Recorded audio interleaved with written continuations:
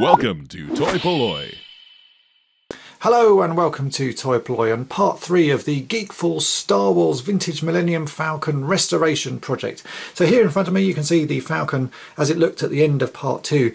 Most of the ship is uh, coming on really well, it's all put back together and at the end of the last episode you saw me uh, finishing off putting the lights and stuff on. As you see there you can see it's got lights in the front, there's one in the cockpit, uh, one by the gunner station and the little landing lights on the bottom which uh, you can't really see here but they do all work. So that was how we left it at the end of part two.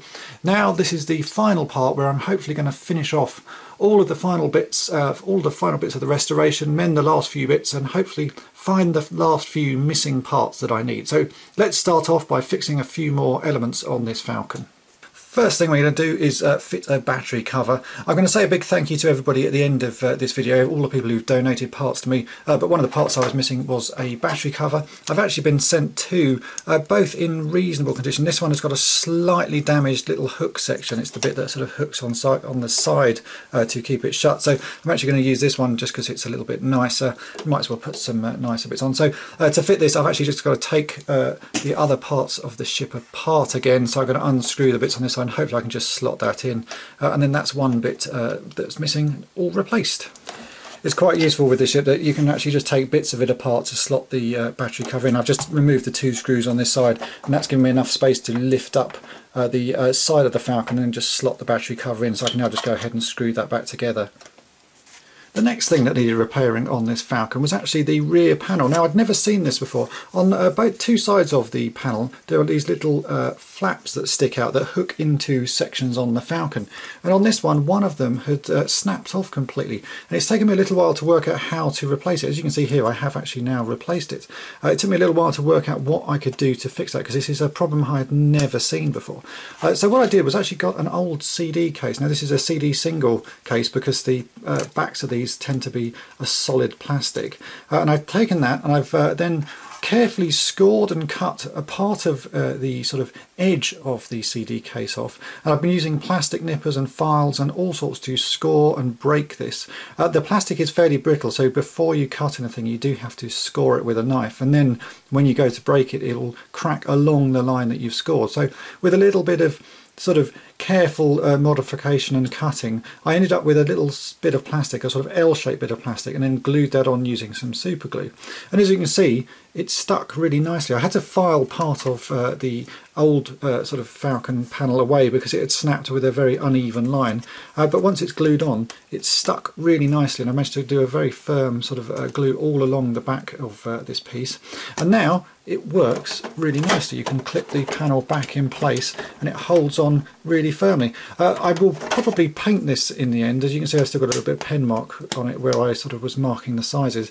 And I'm going to paint that a, a sort of a grey colour so it matches uh, the original plastic of the Falcon. I've got a few other bits on the top that need a little bit of paint on so I'll do that towards the end. But that panel now fits in the back of the Falcon really nicely. So another piece of uh, this uh, Falcon restored.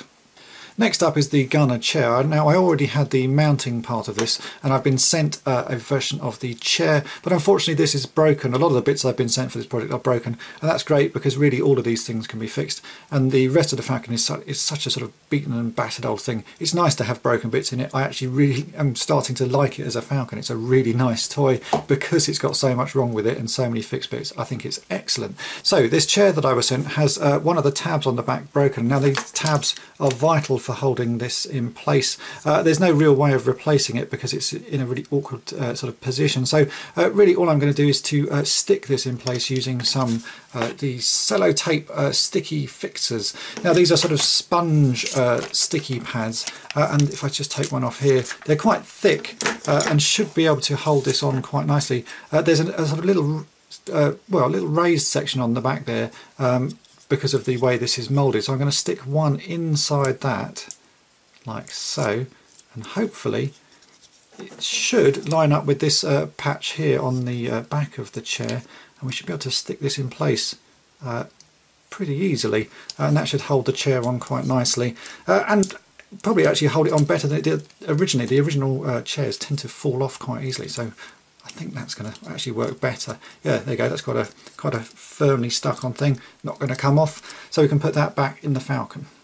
Next up we have an issue I've shown you how to fix before which is the little peg where the uh, training arm and ball should hang is snapped off and what we're going to use is just a piece of Lego. This is a bit of uh, a Lego lance but you can use the Lego uh, aerials or anything like that. They're all about 3 millimeters in diameter and a perfect uh, replica size for the pegs. So I'm just going to drill a quick hole in there and glue a piece of this in and that should uh, replace that quite nicely.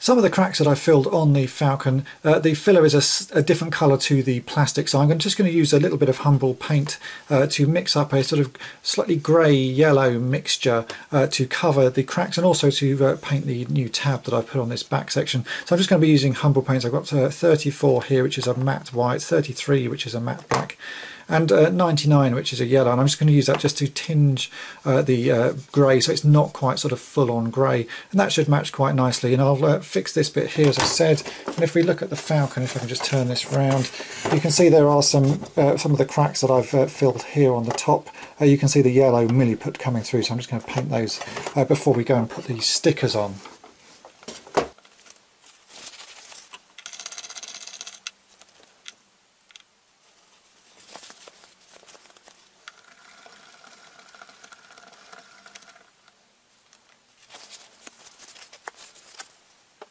So now I have the three paints, I'm just going to carefully mix these until I get a grey that matches uh, the original sort of grey of the plastic. So a little bit of black, a little bit of white, mix those together and then a little bit of yellow just to take uh, the sort of perfect sort of tone off of uh, the, uh, the grey so that it's uh, slightly yellower.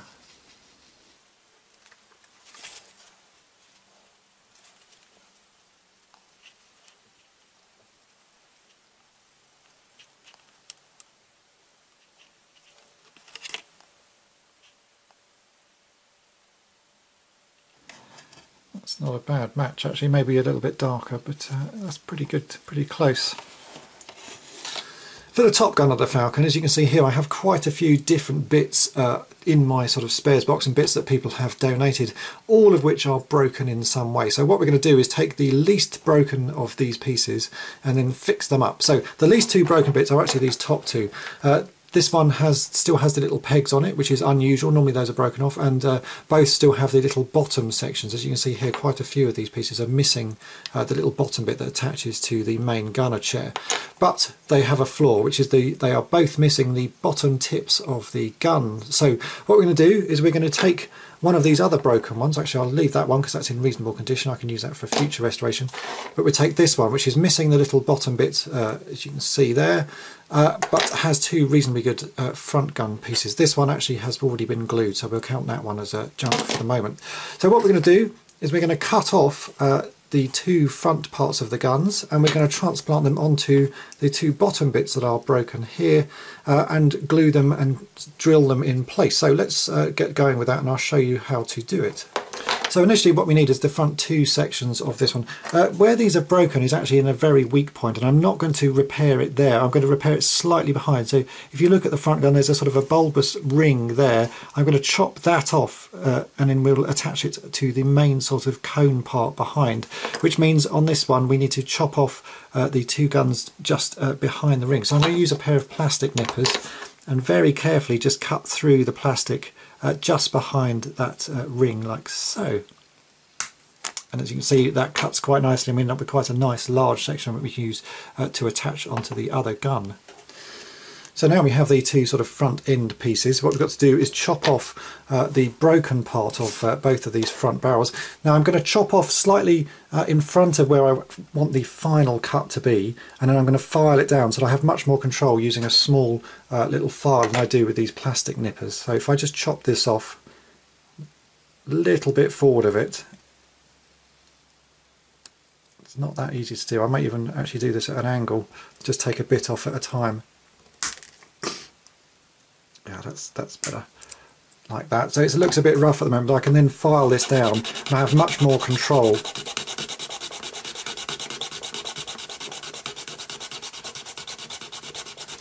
So there you go, with a bit of filing I've managed to get a nice flat end there, which is just behind the little sort of uh, cylinder section, and that should now allow me enough space to uh, fit the new front part of the gun on. As you can see, that's a much neater uh, fit now. Now, what, rather than just gluing this on, if I glue it on, it's liable to just break off again. What I'm going to do is I'm going to carefully drill a one millimeter hole in the end here and also a one millimeter hole in the end here and then I'm going to use a small piece of a paper clip to uh, stick into that hole and reinforce it just so it's a little bit stronger.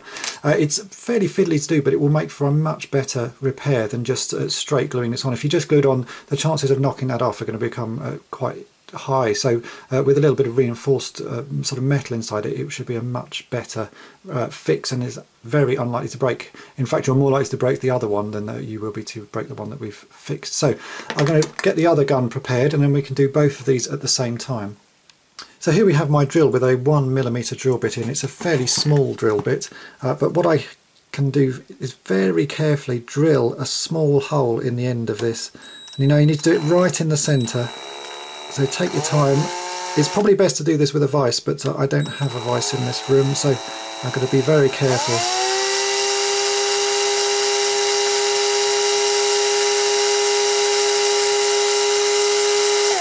Now you only need to go in a few millimetres, just long enough that you can put a small piece of the uh, paper clip in. So there you go, you can see there's a very small hole in there. And if I get my paper clip, that should just fit in nicely fact it's a little tight so I might just uh, widen that hole a bit but it will fit in as you can see and then we can drill another equally small hole in here just to reinforce the end of the tip. So as you can see I've drilled two very small holes in the end there and we've got to do the same on these. Now these are obviously a lot smaller so it's a little bit more fiddly uh, but again it can be done with practice. Uh, it's probably better with a, a vice or something to hold it but I'll just do it freehand today.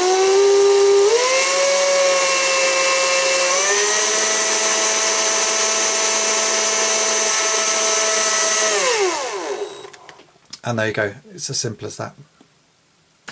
Now that we have all the bits ready we can start gluing them back together. So what I'm going to do is I've got my paper clip here. I'm just going to put a small amount of super glue on one end.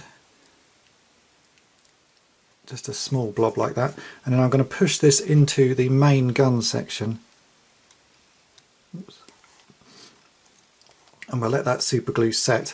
And then I can trim off uh, the paper clip and just so that there's a little bit sticking out and we can stick the uh, end of the gun back on.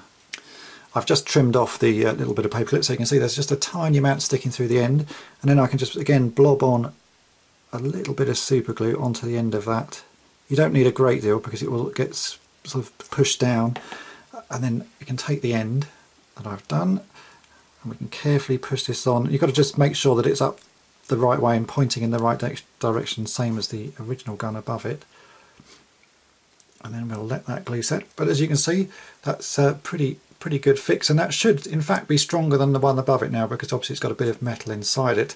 Uh, so I'll go on and do the other side and then that's that top gun fixed.